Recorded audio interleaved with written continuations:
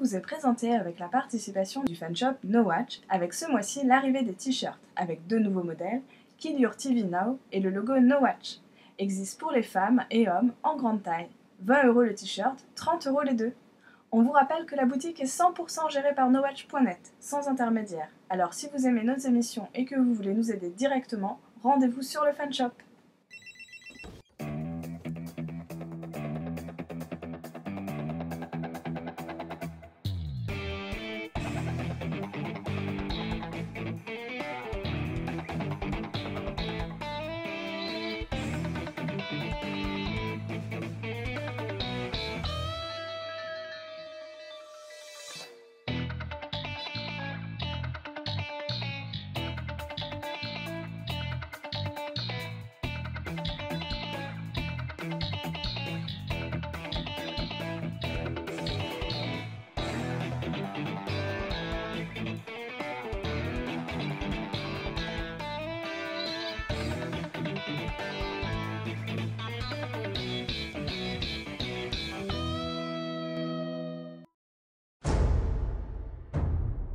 No one knows how we came to this land. A land filled with magic and danger. That's my father, King of Dumbroch. then there's my brothers. We devils, more like.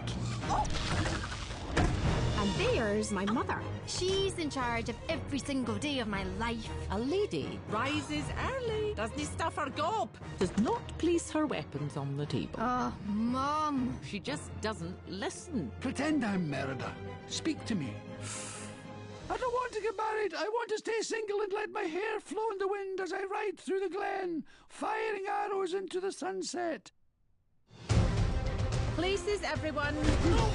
Oh, Each of the firstborn must compete for the hand of the fair maiden. Bonjour à tous et bienvenue dans Cinépheuse. Je sais pas pourquoi j'ai pris cette voix un peu. euh, Parce que t'es un- un peu content. une voix de radio, tu sais, j'ai l'impression. Bon, bon, bonjour à Euh, tous, bienvenue sur à tous, Cinéphase, c'est- l'émission différente c'est des autres des années émissions. 70 quoi. Oui, C'est là. Une espèce de radio libre quoi, oui, la pêche. Cinéphase, la radio J'espère que vous avez la pêche aujourd'hui et que euh, nous allons euh, nous amuser ensemble avec la critique d'un film. euh, Alors moi d'abord, j'aimerais vous remercier voilà, d'un truc, c'est- que vous avez été nombreux à nous, à nous répondre pour vos plaisirs coupables. Ah oui. Et euh, franchement, euh, ça ça fait un mois, t'aurais peut-être pu le dire avant quoi, parce que là ça va faire longtemps après. hein.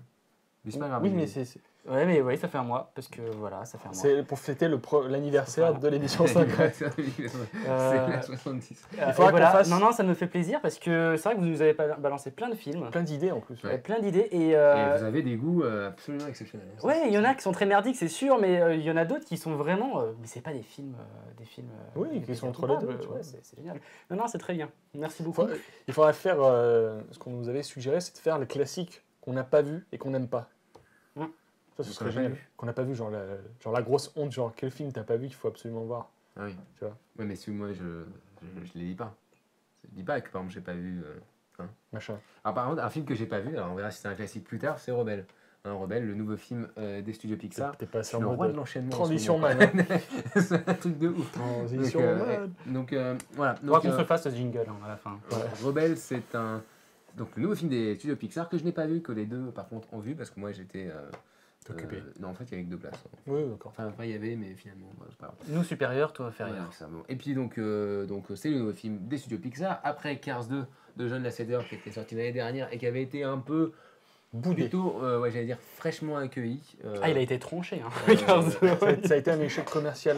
De base, Ah les ouais. gens avaient envie Et ils l'ont oublié, hein, ce film, hein, envie même de- la promo DVD. C'est ça. devenu un plaisir coupable. Les, les gens, les gens avaient envie de, avaient envie de. Toi aussi, tu l'aimes Je le, je le trouve pas mal. Et j'ose le dire, moi. Je l'aime, ce film. C'est une déception. n'aiment pas Cars non C'est une déception, mais je trouve ça beau. Les, gens, au fur et à mesure, ont commencé à dire je trouve que Cars, c'est pas bien, donc Cars 2, j'ai pas envie de le ils- voir. mais donc on ils vont, verra ils Cars vont 2, faire- c'est ils s'en foutent, hein, ils vont faire un spin-off, ça s'appelait Planes, c'est sur des avions. Mais pourquoi pas Oui, ça va être pareil, mais avec des avions. Donc bon, Euh, du coup, euh, les studios Pixar sont un petit peu... euh, on les attend encore plus au tournant avec Rebelle qui a été annoncé avant, alors que plutôt là c'est une histoire originale, c'est pas une suite quoi que ce soit. Et parce que on a un peu l'impression, parce qu'ils ont aussi fait une 4-5 chefs-d'œuvre d'un coup, et On dirait qu'ils arrivent en fin de cycle. voilà, en fin de cycle. Rien à voir avec le cycle de des machine- règles. non, Moi j'allais parler d'une machine à laver. avec une machine à laver. ok. Je, je voulais te. Non, non, je vais parler de l'essorage, après rien à voir avec ce que Non, non, tu avais parlé. C'est qui qui parlait de explicite là oui, Hein non, je sais. Là, là, Romain, Il avait peur que je rebondisse sur un truc là, là. là, là, il a merdé, là. Il a, dérapé tout seul. Bon allez. C'est pas grave. T'as tellement eu peur qu'on fasse la blague Oui, que tu l'as fait toi-même. Abort, abort. C'est moi qui l'ai dit. J'habite, c'est bon. On parle de film. Ok, c'est bon. c'est bon. Euh, donc oui. Des- Il y a peut-être des enfants qui vont regarder euh, Non, cette émission-là. émission. Ah si, on va parler de Rebelle. Est-ce là, que Rebelle, c'est pour les enfants J'en sais rien. En tout cas, euh, le film, euh, c'est un nouveau film. On l'attend au tournant. Et en plus, je voulais dire qu'il y a eu pas mal de concurrence parce que les studios Dream- DreamWorks sont un petit peu remontés. Un Mhm. peu, il y a eu de- des films un peu plus intéressants récemment. Et puis il y a les autres qui a- films en plus qui arrivaient. Il y a le Lorax, par exemple. Oui, qui qui- exceptionnel. Carton, Je sais pas, vu. carton Lorax. Oui, voilà. Donc ils sont un peu en concurrence avec d'autres, puis ils commencent à faire beaucoup de suites. Est-ce que Rebelle euh, est au niveau de Toy Story 3 Est-ce que c'est un nouveau chef-d'œuvre au niveau de. euh, là où je suis pas fan, mais au niveau de Ratatouille, au niveau de. ouais, Indestructible. Voilà. Dites-nous, dites-moi tout. On va peut-être- t'en prie. on va peut-être rappeler l'histoire. Euh. Vas-y, je t'en prie. Donc en fait, euh, ça se passe dans une Écosse de légende. Et en fait, c'est un, un roi et une reine qui veulent marier euh, leur fille, et donc Mérida, qui est la, la rousse qu'on voit partout dans, les, dans la Oui. promotion, la princesse, qui... euh, Eh bien, il pourrait dire la, la jeune fille, tu sais, mais non, c'est la rousse. Bah oui, parce qu'elle a des cheveux, elle a des cheveux roux, c'est impressionnant en frisé, elle elle c'est magnifique ses cheveux. C'est vrai que c'est très beau. Euh, donc, mais elle, euh, donc, euh, elle veut pas se marier parce que c'est une sorte d'esprit libre. Dame, ouais, elle, elle adore euh, euh, courir dans la forêt, faire du cheval. euh. et, et c'est une pro de, de- de- de l'arc. ça me faisait penser à deux choses. Ça me faisait penser à Mulan. J'avais l'impression que c'était le Mulan euh, de. D'Écossais. euh, ouais, Éco- non, le Mulan de Pixar. En fait, ça me fait penser à une chose. Je pensais que c'était le Mulan de Pixar. ouais, c'est ça. Donc, donc, en fait, il y a une espèce de tournoi qui va se faire entre les, les fils des autres seigneurs pour savoir qui va l'épouser. Et puis, bien, elle, bien sûr. Oh, elle- elle est gâtée, hein, parce que les fils. Ouais, ouais, ouais, c'est- ils sont bons. hein. Ouais, c'est- Ils sont bien. c'est- c'est- le mec, il a un nez plus grand que son Alors- visage. Juste pour pas dire, euh, vous savez pas, j'espère que vous n'allez pas faire de trop de spoilers, parce qu'apparemment, ce que j'ai entendu dire, c'est qu'à la moitié du film, Ouais. il y a un gros tournant C'est ça. qui, a ja- qui a- qui- qui n'est pas dans les bandes annonces et que euh, apparemment Pixar a tout fait pour qu'on ne sache pas ce qui se passait à ce moment-là. ouais. Donc euh, vous n'allez pas le dire. Puisque moi, Et après, il se passe un truc. il se passe un truc. On Et apparemment, ça ça. change totalement l'histoire. Exactement. D'accord. Voilà. Donc, euh, qu'est-ce qui se passe Il se passe un truc. Ouais, il se passe un truc. euh, Avec un animal. Donc, ouais, qu'est-ce que tu en as Ah, pensé ça va être super. euh, Euh, moi, ce que j'en ai Je vais pensé. te- en parler parce que je Oui. vais, je vais faire l'avocat des roues. moi, Ok, parce ok, que, ok. euh, Non, non. Le, le film est visuellement splendide, ça, il n'y a rien à dire. C'est très très beau, les, les personnages ont- sont tous très attachants. Justement, Mérida, euh, qui est un personnage qui s'impose par lui-même, justement, comme je disais, avec cette, cette chevelure magnifique, un peu comme, comme réponse, justement, qui est ses, ses cheveux. Il y a un design du personnage qui est vraiment intéressant. C'est un film qui est. C'est pas un Pixar pour moi, c'est clairement un Disney parce que c'est un film vraiment pour les enfants.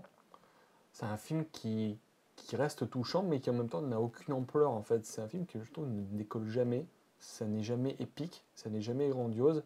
Ça n'a pas euh, la consistance, euh, je dirais, euh, thématique d'un réponse.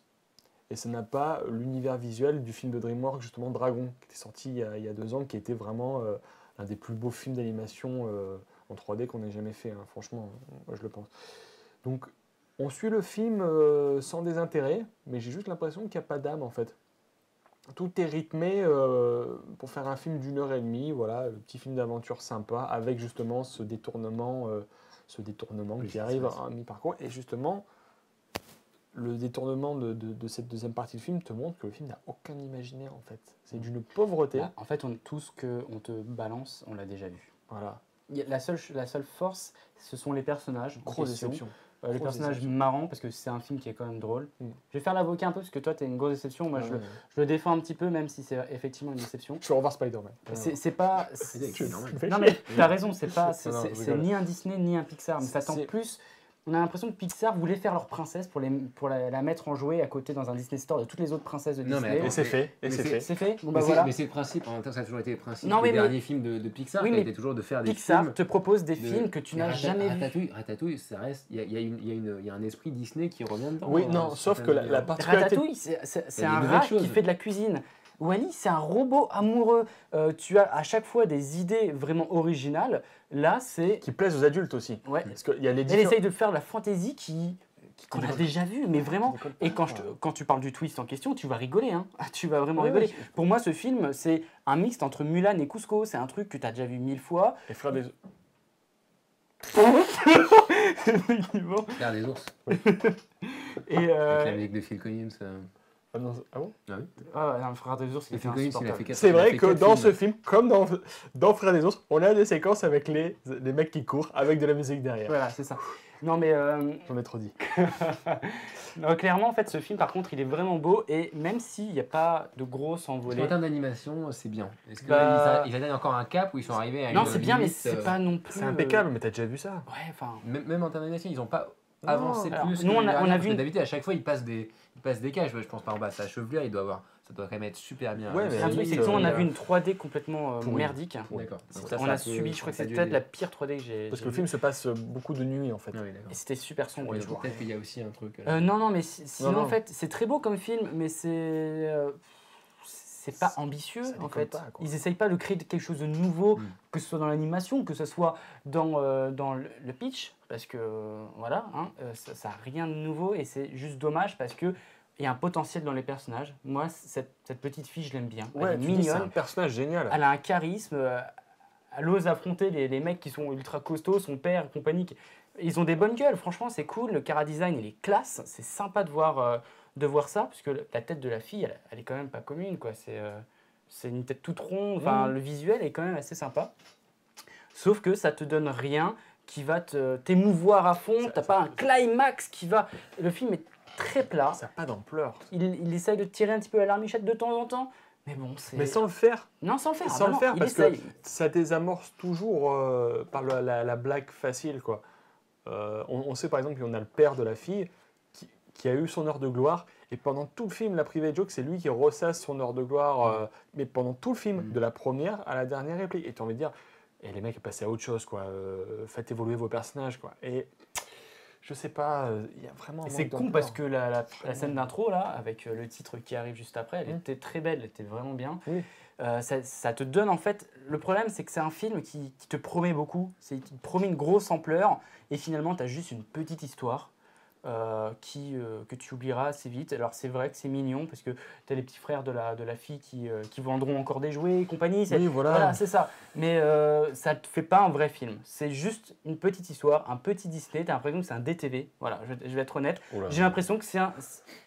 Si, j'ai l'impression que c'est un clochette. En termes d'histoire, hein, je te parle. hein. Ah, là, Visuel- d'histoire. Oui, visuellement c'est beau, c'est du, c'est du Pixar, ok, on a compris, visuellement c'est très beau, c'est pas ambitieux, mais c'est très beau, on l'a déjà vu, mais effectivement c'est classe. Mais après tu vois les DTV de clochette en question, ils sont très jolis aussi. Voilà, c'est et pour moi, ça rentre dans cette catégorie-là, c'est des petites histoires, tu regardes, tu montres ça à ta gamine qui a, qui a, qui a- qui a 10 ans, en DTV, c'est tout. Moi, ce que j'ai du mal à comprendre, c'est comment les mecs de Pixar ont, Je ont vais vu- pas te défendre. on- on- bah, eux, tu devais le défendre, ouais. ont vu ce script et se dire, ouais, c'est la, pro- c'est la prochaine étape.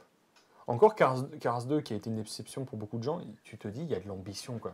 Cars Dans les- 2 c'est dans il les y a que de l'action tout le temps, dans- c'est de la le- folie. hein. Dans le, justement le détournement du premier, là, il y a vraiment un truc où tu te dis, putain, on revient 10 ans en arrière, quoi.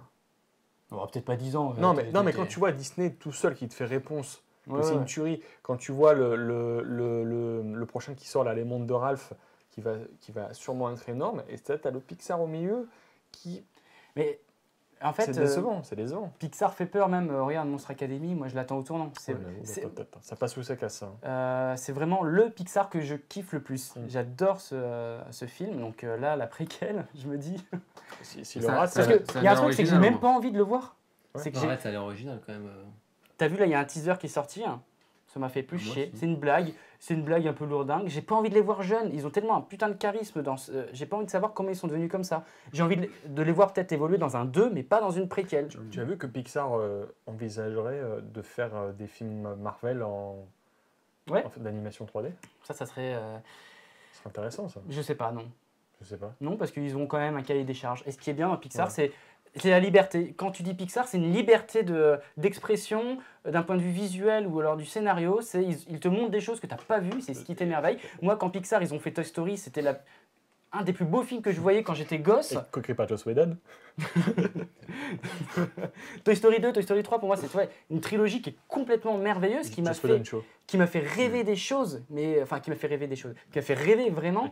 Ouais, donc ce que vous voulez dire, c'est qu'en gros, Pixar va mal. Quoi. C'est un peu, Alors, moi, ça enfin, m'inquiète. Parce que là, vous êtes en train de C'est inquiétant, que bah oui, C'est euh, inquiétant. On- Bah, fait, les gens avaient raison de redouter la sortie de ce film. Moi j'avais dit Pixar m'inquiète et Philippe m'a dit attends le prochain pour paniquer. Hmm. Et c'est vrai que c'est un peu ça. il est sorti en courant. Ah, Dieu Ok Et pour dire, même le court-métrage de début qui est très beau m'a saoulé. super. Moi, ça m'a saoulé. Oh, mais toi, t'as peut-être un problème aussi. Non, mais c'est très beau. Mais c'est juste Nous, que. la période d'adolescent, t'aimes bien Spider-Man, quoi. Non, mais en fait, Je le comprends. Moi, je l'ai bien aimé ce court métrage, mais euh, euh, C'est- est-ce qu'on voit pas la limite de l'imaginaire à la fin ils ont fait- beaucoup, quoi, aussi, c'est peut-être ça. Enfin, Oui, voilà, c'est ça. C'est que un- un- une fin de, de cycle.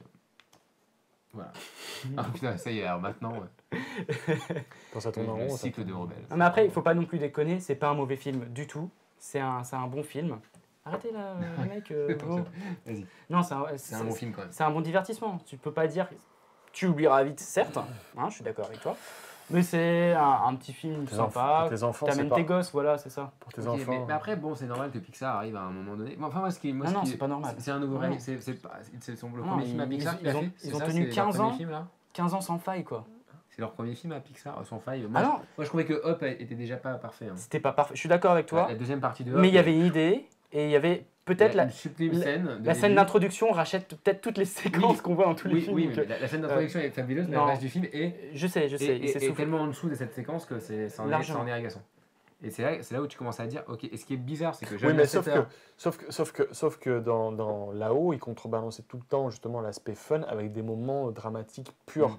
Là, c'est l'inverse. C'est que les moments qui devraient être euh, forts sont complètement désamorcés par la comédie qui dépend du cahier des charges. y, a- il y a deux choses euh, simples que je veux vous poser comme question. C'est euh, d'une, est-ce que, a- ce que ce qui est vrai aussi, c'est que John Lasseter est devenu le président de, de Disney Animation, Ouais. qui comprend Pixar et Disney, et que maintenant Disney fait autant de productions 3D que fait Pixar, bizarrement. Ouais. Ce qui fait que, est-ce que Pixar, n'est- est-ce que justement ça c'est pas, il n'y a, pas eu une dissolution des talents de Pixar à l'intérieur de Disney et que finalement ils il y a un équilibre finalement. Je veux dire, euh, Pixar n'est plus qu'une, euh, est-ce que la- la- c'est une boîte à idées qui est, qui est en train de, tu vois, de. Tu de- penses qu'il y a une sorte de. parce qu'il va est se bizarre qu'on me mélanger dise que Réponse marche bien. Effectivement, le, le prochain film de Disney a l'air aussi intéressant. Euh, ils n'ont pas encore, les- ils ont pas du tout l'esprit Pixar puisque ça, ils ont Oui. plutôt des, des- des films qui essayent de concurrencer DreamWorks dans le sens on fait des choses un peu cyniques, un peu ironiques avec des contes de fées ou des, ou des jeux vidéo là pour le prochain. Ouais. Euh, alors que Pixar essaye toujours de faire des choses euh, épiques Intègre, et euh, ouais. et voilà dans, dans le même Premier esprit, c'est ce qu'on préfère d'ailleurs chez Pixar. Mais il y a quand même une espèce de d'ailleurs ils commencent à faire aussi plus de franchises. On parle de peut-être faire une série télé. Euh, voilà, on sent qu'il y, a- il y a un autre développement là-dessus qui est que euh, les réalisateurs se renouvellent et que moi c'est ce que je m'étais dit que c'était quand même le, euh, avec le réalisateur de, de Up, donc de là-haut, qui, qui avait fait Monstre et compagnie aussi. Enfin, c'est pas les, les- le docteur? ouais, c'est pas les, c'est pas les, les, les- ceux qui étaient en premier. Alors tu vas me dire John Lasseter, Cars 2 c'était John Lasseter. Je crois que c'est co-réalisé. Hein. Avec Euh, un autre mec, je- ouais. Toy. Story Ouais, 3 je est crois aussi, je co-réalisé. crois qu'ils sont trois même. Ils sont euh, trois. Toy Story 3 est aussi co-réalisé en fait. Non, Euh, tout seul. ah non, non, euh. Et, euh, c'est John le- Lasseter n'est pas co-réalisateur quand même hein Non, c'est le 2 qui était. euh, ils étaient- ils étaient- Bon, en gros, est-ce qu'il n'y a pas un renouvellement Parce que tu vois, Brad Bird n'est pas un peu plus là. Mhm. Et Brad Bird, Brad Bird a quand même sauvé Ratatouille. À la base, Ratatouille devait être réalisé par quelqu'un d'autre. Je sais pas si vous voyez l'histoire. Euh, ça devait être réalisé par quelqu'un d'autre et apparemment Oui. c'était catastrophique. Ah ouais? Je savais pas. Et en gros, il a été appelé en urgence sur le film pour rattraper le film et apparemment un mois il a, Je, je- je- je il a sais, fait Ratatouille. je sais pas trop parce que Il a, il a tout remis en place. Mais lui s'est C'est barré. un gros sauvetage. Il y a Andrew Stanton qui a fait euh, John Carter. Voilà, en plus c'est ça que je voulais dire. Donc, qu'ils euh, passent tous au live. Andrew euh, Stanton, moi je me disais, bah ouais, c'est un peu la nouvelle génération. Quand tu voyais Wally, Ouais. tu te disais, bon bah voilà, le mec. euh, Enfin, c'est pas la nouvelle génération parce qu'il a depuis le début, j'ai des conneries, mais et puis il a fait des mots. Mais est-ce que les euh, grands réalisateurs bon, ne se barrent pas pour faire du C'est- film live et que finalement ils, vous avez quand même deux ils ont que la qui réalisatrice sont- du Prince d'Égypte et du petit court métrage avec le violoncelliste là que c'est ça, hein, c'est les réalisateurs qui. Ah ok d'accord. Il y a un Ah, réalisateur C'était pour ça alors. qui était déjà dans Pixar, hein, bien sûr, c'est qui avait fait le court métrage avec le violoncelliste, le, le petit duel, Mm. qui était Et ils ont fait super venir, bien. ils ont fait venir quelqu'un pour. Et euh, la, la co-réalisatrice, c'est celle qui avait fait le Prince d'Égypte. D'accord, mais alors c'est peut-être ce que je dis. Il y a peut-être un, une euh, Coordination de réalisateurs un qui changement de réalisateur qui, qui commence à changer, et puis peut-être une une harmonisation avec Disney euh, Animation de base qui fait que euh, Ah. Les talents C'est- se c'est se- con, mais se- toi. J'avais peur avec ces hein. réalisateurs que, dire. que en fait, ils partent sur un truc un peu mièvre avec les musiques. Parce que le Prince d'Égypte, c'était euh, musical. Euh, pareil, le, le mec qui a fait le violoncelliste, là, c'était totalement musical sur le coup. Et effectivement, dedans, il y a, dans, dans, euh, dans Rebelle, tu as des, des musiques. Alors, par contre, elles, elles chantent pas, heureusement, sinon ça aurait été là. euh, T'aurais pris la toile, tu aurais déchiré tellement t'aurais été énervé. Non, mais par contre, tu as la musique en fond où tu as, l'impression que c'est elle qui pense, donc elle parle, elle chante, tout ça.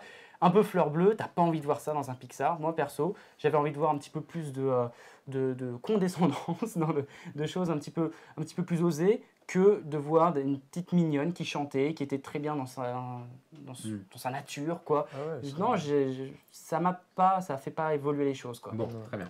Bon, en tout cas, le film là sort euh, bientôt dans les salles ou est déjà sorti, je sais pas, on verra. Donc, euh, dites-nous ce que vous en avez pensé. Est-ce que vous pensez que euh, Pixar euh, monte ou Alors, descend nous ne sommes pas la voix de la raison puisque la plupart des gens ont adoré ce film. Oui, le Oui, film c'est car- cartonne aux USA, hein, donc euh, D'accord, donc ça se trouve. c'est une. Mais ça se comprend. c'est- ça se oui, mais comprend. c'est c'est pour tout le monde. C'est une pure question de sensibilité. Nous, ça nous a pas touché malheureusement. Peut-être le prochain, peut-être pas. Peut-être que on moi, je vais verra. adorer. Peut-être que tu vas adorer. euh. En tout cas, voilà, on se donne rendez-vous pour une prochaine émission, bientôt. euh, prochaine émission de Cinéphases, allez, portez-vous bien. Alors c'est marrant parce que tu, tu parlais de, de- tu parlais de la boîte à idées. Oui. La, la boîte à idées, c'est Marvel. Et Marvel, c'est Disney. Oui, c'est vrai. Mais ils n'ont pas un nom aussi, euh, C'est la, mais- La sais maison des idées. I'll be shooting for my own hand. Curse this dress. Don't you dare loose another arrow!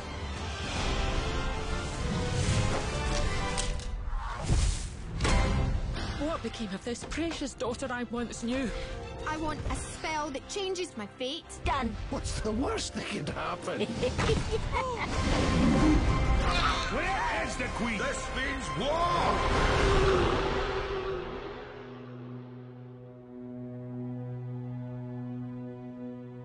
Visker kjunen du seg igjen